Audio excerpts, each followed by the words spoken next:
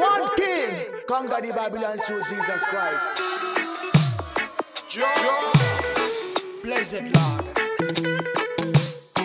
New generation with a mind of Christ. We got to move on. Bigeye.